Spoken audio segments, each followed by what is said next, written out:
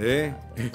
Gracias, Amado, gracias a todo el equipo de producción y gracias a la gente que está ahí en vivo con nosotros y a la gente que nos ve a través de las redes sociales. Miren, varios temas que tratar en el día de hoy me impusieron, ¿verdad? Eh, las circunstancias. No, las circunstancias me impusieron un tema que quiero tratar brevemente con relación a lo que tiene que ver con la influencia del medio ambiente en, el ser humano. Y es un tema que, eh, atención, Joanny, tenemos que invitarnos un, un experto en la conducta eh, para que nos hable de esto, porque a la sociedad hay que orientarla. Miren, hay gente que dice, no, yo vengo de abajo, yo soy pobre, yo crecí solamente con mi mamá o con mi papá y yo soy tal cosa. Sí, pero eso es usted. La mente del camarógrafo que está de frente a mí no funciona igual que la mía, totalmente diferente. Pero la mente del compañero que está aquí a mi izquierda no funciona igual que la mía. Por tanto, él no ve las cosas ni siente las cosas como las siento yo. De manera que cada caso se tiene que tratar de manera particular. Los expertos en la conducta han determinado, y eh, en función de estudio, y eso se sigue estudiando y se sigue renovando, y hay, elementos que, ya, que ya han sido eh, acogidos, otros que no, y así, así, así va avanzando el mundo. ¿Qué resulta? hay factores que influyen directamente en la conducta, en el comportamiento del ser humano. Hay factores que son endógenos, eso vienen con usted, porque usted lo heredó, está determinado científicamente. Y hay factores que son exógenos, que son el medio ambiente. Tanto así que en lo que tiene que ver con la criminalidad, los criminólogos más experimentados establecen que hasta el clima influye. Oigan esto, muchachos. Por eso ustedes ven que los países fríos por ejemplo, del norte de Europa, hay menos criminalidad. ¿Por qué? ellos lo han determinado. Hasta el clima influye. Juan Jacobo Rousseau lo planteó en el contrato social. Por eso ustedes ven que en la República, por ejemplo, en el Caribe, eh, que es un ¿verdad? caliente, aquí en el trópico, la gente pelea más. Y la gente como más guapa y como más activa. Por el clima. Influye la educación, influye el entorno, el entorno. ¿Y por qué le digo esto? Yo trabajé con jóvenes muchísimos años. Y yo quiero mencionar un caso específico que me voy a reservar el nombre naturalmente, de un joven que él le daba vergüenza que le celebraran los cumpleaños. Oigan esto muchachos. Él le daba vergüenza que le celebraran los cumpleaños. ¿Por qué? Porque él era pequeñito. Se sentía mal su familia no pudo detectar eh, ese problema. Estatura, estatura Sí, él, sí, estatura, él era pequeñito. Y nosotros a través de un grupo de jóvenes que teníamos lo acogimos. Y como yo sabía la debilidad de él, porque tú tienes que estudiar cada caso en particular, decía, este muchacho tenemos que darle importancia y participación, principalía en el grupo, para que suelte eso. Y lo hicimos. Incluso hicimos una película con él. Y él fue el protagonista de la película.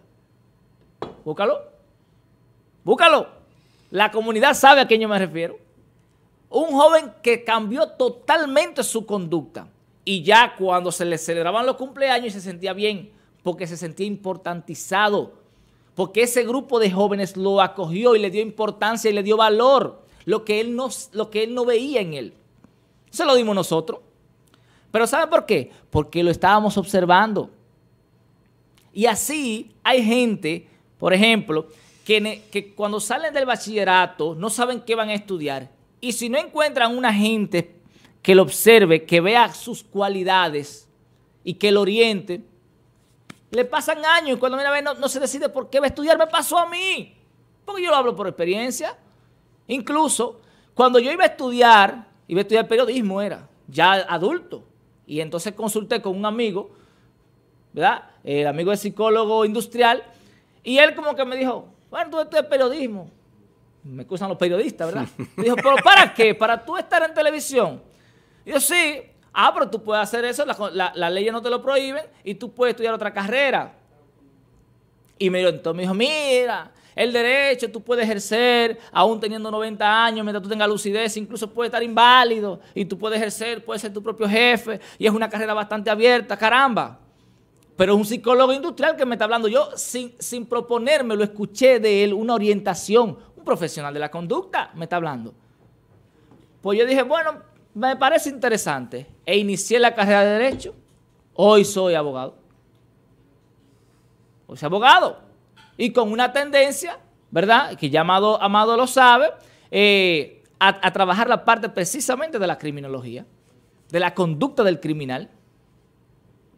Ese es mi interés. Fíjense ustedes cómo, cómo la orientación de una gente me, me influyó. Oye, yo soy lo que soy. A Israel Paredes se lo agradezco. Porque me orientó. Descubrió, vio cosas en mí que yo no la estaba viendo. A eso es que yo me refiero del acompañamiento del Estado. Si tú tienes un seguimiento del Estado en tu comunidad, observando las conductas de cada uno de los moradores de esa comunidad, ese profesional, el Estado puede identificar alguna conducta, incluso creando perfiles. Yo he hablado aquí de los perfiles del pasionicida, no del feminicida, yo lo llamo pasionicida, porque la mayoría de esas muertes, es decir, de hombres que matan a las mujeres o de mujeres que matan a sus parejas, a, sus, a los hombres, es por una cuestión de la pasión. Ah, bueno, esta mujer me va a dejar, ya yo no me voy a conseguir otra mujer. Es más, si no es para mí, no va a ser para nadie. Y entonces toman la determinación de quitarle la vida. Pero esa persona tiene un perfil, eh, baja autoestima, o como dicen los psicólogos ahora, eh, autoestima negativa, eh, controlador, aquello que lo otro, celoso, él no, es una persona segura, todos esos factores, ellos los reflejan, pero la comunidad al no saberlo, no se da cuenta. Los familiares al no saberlo no se dan cuenta. Yo sí lo veo. Incluso a mía que yo le digo, mira, esa pareja tuya es muy controlador. Eh, mira, esa pareja tuya es aquello. Eh, cuídate de eso. Porque el día que tú decides dejarlo o dejarla, porque se da también con las mujeres, esa persona entiende que lo va a perder todo y prefiere entonces jugársela. Por eso ustedes ven que matan y se matan. ¿Comprenden? Esos perfiles están ahí, solamente hay que estudiarlo, definirlo y presentarse a la sociedad. Eso es que yo me refiero, señores. Porque si queremos realmente llegar al desarrollo de este país, tenemos que trabajar con la ciencia, tenemos que estudiarnos constantemente como sociedad, como individuos, para poder entendernos. Por eso yo decía, y siempre digo aquí, que la corrupción no se va a acabar en la República Dominicana, porque el primer acto de corrupción fue en la, en época colonial. Fue allá en, la época colonial el primer acto de corrupción y el sistema ha seguido igualito y por tanto no va a cambiar. ¿Cómo puede Luis Abinader eh, evitar la corrupción cuando llegó con corrupción? Cuando llegó cogiéndole cuarto a muchísimos empresarios. ¿Para qué? Para tener poder en el, gobierno. Y, todos los partidos le cogen cuarto a, los narcotraficantes, a, eso, a esos narcotraficantes grandes para que le permitan seguir operando. ¿Cómo va a cambiar el sistema? A eso que yo me refiero. Pero bien, no quiero abundar mucho de eso. Esperemos que eh, traer un, experto en la conducta para que hablemos de eso más adelante. Miren, tengo aquí algunos cuadernillos. Este es el de cuarto. Eh, me enteré cuando los vi presencial, porque nadie me dijo nada de esto, a eso que yo eh, hablo de la, de la, improvisación, de que este cuadernillo es de cuarto a sexto grado. Mírenlo aquí, de cuarto a sexto grado. Yo pensaba que era por curso, por grado, pero veo que aquí están incluyendo dos grados. Eh, aquí muchachos, el detalle, mírenlo aquí, de cuarto a sexto grado. Es muy interesante, es muy bonito, eh, el diseño, el material, eh, sin ánimo de criticar, señor, tenemos, tenemos que ser, ¿verdad? claro, el, el, material lo veo muy, muy, muy suave, muy delicadito para niños. Esto se puede romper y si se moja se daña con mucha facilidad. Creo que debió trabajarse mejor tomando en cuenta de que esto va a la casa y luego tiene que volver, tiene que volver a, la escuela. O sea, este cuadernillo en una semana hay que devolverlo a la escuela eh, con, el, con los procesos hechos. Entonces aquí te explica cómo utilizarlo. Muchachos, vamos a trabajar los detalles aquí. Y entonces te dice aquí, miren, día 1, día 1, dice viajar mágicamente. Esta actividad te presenta un personaje que hace viajar a los niños y niñas. Es muy probable que hayas leído otros cuentos y, tu imaginación esté preparada para volar gracias a la literatura. Abre tu cuaderno, tu cuaderno, escribe en él la fecha de hoy y el título de la actividad. Entonces, ¿qué dice? Quitaré a uno. Pero eso tiene que ser guiado. ¿Por quién? Por una gente que mínimamente entiende el proceso. A eso que yo me refiero también cuando yo digo, ¿y quién le, ¿y quién le va a explicar a los niños esto? Yo, yo puedo hacerlo. Pues soy un profesional, sé leer y pudiera entender lo que es la pedagogía, ¿verdad? Pero no todo el mundo, no todos los padres tienen esto. De hecho, una gran parte. Entonces, ¿qué pasa con esos estudiantes ¿qué va a pasar con ellos? ¿Quién le va a dar ese seguimiento diario en la casa? ¿Quién lo va a motivar? Atención, Ministerio de Educación, no podemos dejarlos sueltos esos niños porque luego va a ser un problema para ellos. Dice, tarea 1, lea atentamente el cuento que está en el anexo de la página 10. Si tu docente te lo envía grabado, lo puedes escuchar antes o después. Dice, tarea 2, luego de leer el cuento, conversa con tu familia acerca de la historia. ¿Qué personajes aparecen en el relato? ¿Qué sabes de ello? Todo eso es muy importante. Pero ¿qué pasa? Esto conlleva un seguimiento en la casa. Es decir, un facilitador del conocimiento del estudiante, eso, es educación a distancia. Un adulto lo hace por sí mismo porque tiene un interés, ¿verdad? Porque tiene la capacidad intelectual de discernir y entender todo esto y lo hace y crea su propio conocimiento. Pero a un niño tú tienes que orientarlo, facilitarlo, ayudarlo. Entonces, si en una casa, supón tú que 10 casas de la República Dominicana no tienen una persona en la casa que pueda darle seguimiento, ¿por qué? Porque el papá no sabe leer o porque el papá no tiene el temperamento, no tiene ningún tipo de pedagogía para, darle seguimiento, ni siquiera tiene la paciencia para, eh, para ponerse a ver y conversar con un niño. Hay padres que no conversan con los niños, que no conversan, que llegan a la casa y le da trepito que si el hijo está o no está. ¿Comprenden? Entonces, ¿qué pasa con esos estudiantes que no tienen una persona que le vaya a dar seguimiento? Miren el cuento aquí, el cuento está en la página 10, tienen que explicárselo a los padres. Mírenlo aquí. Entonces aquí te va, lee el cuento y de este cuento, que es el mismo en todos los cuadernillos, me sorprendió también eso, es el mismo en todos los cuadernillos, de ese cuento que tú vas a sacar la pregunta. Entonces, día a día tú vas haciendo, eh, por ejemplo, aquí está el día 2, aquí vimos, vimos el día 1, aquí muchachos, este es el día 1, Véanlo aquí, aquí está lo que usted tiene que hacer ese día con el niño, y aquí está el día 2, voy a leer el día 2, dice, eh, Vamos a ver. Voy aquí. Está en mi casa. Ayer te preparaste para la visita de, Don Joe. Eso es un personaje, ¿verdad? Y hoy lo recibes en tu casa. Como, como cada nuevo día, en el cuaderno escribe la fecha y el título de la actividad. Recuerda el cuento. Léelo otra vez para ver si encuentras otro detalle. Y dice aquí, tarea 2. Esta buena cortesía invitar al, visitante a conocer tu casa. Describe tu casa por, escrito en no menos de cinco renglones o líneas. Puedes elegir una de estas dos formas.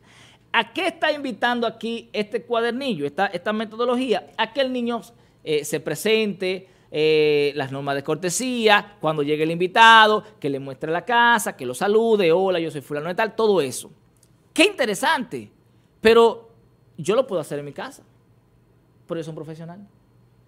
Y el que no sabe leer, y el que no entiende, de hecho, y el que no quiere, porque hay gente que, aunque no quieren, ¿y qué tú puedes hacer? ¿Obligarlo? No. Es el Estado que tiene que crear la metodología para ese tipo de personas. Y así entonces tú dices, miren, de 100 eh, eh, casas, de 100 hogares, tenemos problema en 5.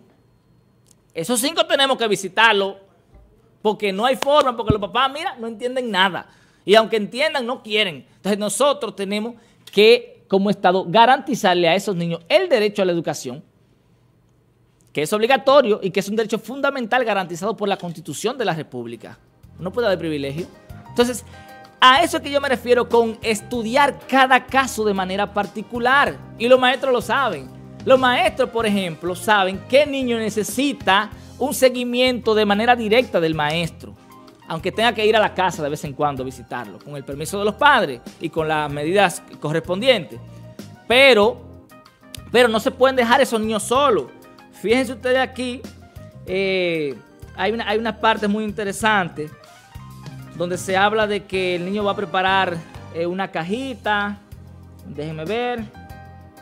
Eh, sí, mírenlo aquí. Aquí habla de, este es el día 3 que viene siendo mañana, ¿verdad? Sí. Aquí habla de un... No, no, hoy, hoy, el día 3. No, no, pero el día 3 de la semana. Ah, el, miércoles. Por ejemplo, esto para mañana dice eh, que motivar al niño a, hacer como una especie de maleta para viajar, que él puede utilizar una cajita, una caja de zapatos, lo que sea. Pero todo esto, todo esto, hay que hacerlo con el acompañamiento de una gente que mínimamente pueda dedicarle un tiempo prudente al niño que tenga el interés de hacerlo, que además tenga la pedagogía para entender esto y entonces ese, eso que está aquí, traspasárselo al niño para que lo, eh, para que lo entienda y lo ejecute. Y hay gente que no puede hacerlo porque no saben leer. Y hay gente que no pueden hacerlo porque no pueden hacerlo por la razón y los factores. ¿Se acuerdan de los factores? O los factores porque, no, porque tienen que trabajar, porque llegan matados del trabajo, eh, que duraron el día entero trabajando en construcción y lo que llegan es acostarse porque llegaron sin fuerza. Todo ese tipo de, factores son los que el Estado debe estudiar o debió estudiar antes de iniciar el año escolar para que entonces a cada quien darle un tratamiento especial. Ustedes dicen, ah, pero eso es muy difícil. Ah, pero eso es, eso es planificación. Aquí tenemos el otro, miren, este de preprimaria y primer grado.